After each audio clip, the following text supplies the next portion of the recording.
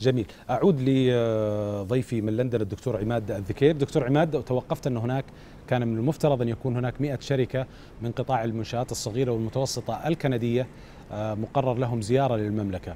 حدثنا عن أبرز القطاعات أو أبرز الأجندة اللي كانت من المفترض أن تعرض في هذا المجلس.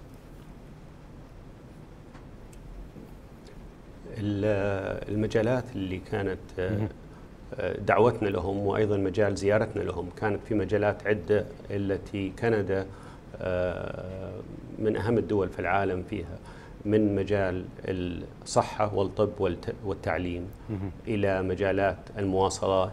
آه، الآن عندنا شركة بومبارديي آه، في مترو الرياض وفي مشاريع أخرى كبيرة.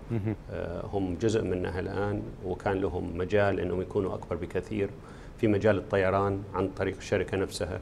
واحدة من أهم الشركات اللي عندها آه، طائرات خاصة للمسافات المتوسطة والقصيرة. آه، كثير من الشركات المتوسطة والصغيرة في مجال المالي الفنتك آه، في المجال الزراعي في مجالات تصنيع بعض المعدات بعض الأجهزة إلى كثير من كثير من المشاريع الكندية في السعودية. بين شركاتنا الكبرى الخمسة سابك وارامكو وشركة الكهرباء وشركة تحلية المياه والسعودية في كثير من قطع الغيار التي بدل ما تشترى من كندا بسعر فرضا 10 دولار ممكن تصنيعها في السعودية يكون لا يزيد عن دولار أو أقل.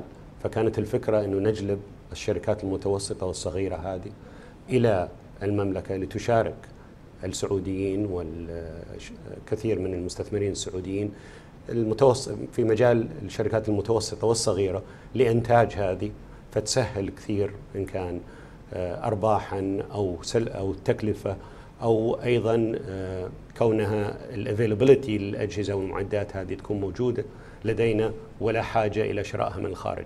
ولكن للأسف آه، لن يتم هذا في ظل الظروف الحالية. قبل حوالي سنتين دعينا 76 شركة من كندا على حسابنا الخاص.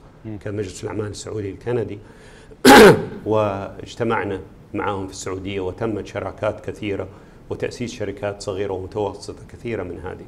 ولكن آه، أيضا زي ما ذكرنا في ظل الظروف الحالية آه، لن يتم هذا.